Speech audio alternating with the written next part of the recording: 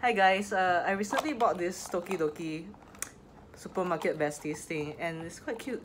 Actually, I opened one of these already. It's actually a blind box and I got this little guy.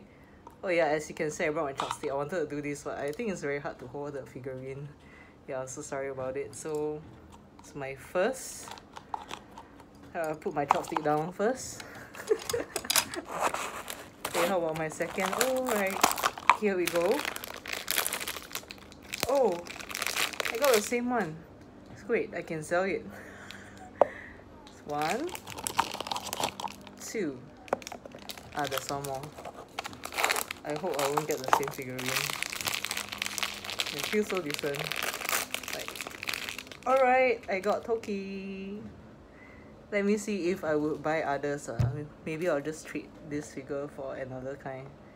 So, it's kind of cute. There are total 8 of them. I actually asked the salesperson um, how much is for a box of 8. She said it's about $132 if you're a member if not you'll be just like 158 and there will be a chaser the chaser is actually this you see this is the guy over here I don't really like him but I guess he's worth a lot of money so y'all guys just stay tuned um stay tuned to see whether I'll just get the whole box or not this is the whole thing I hope y'all guys will enjoy my video and please follow me and subscribe.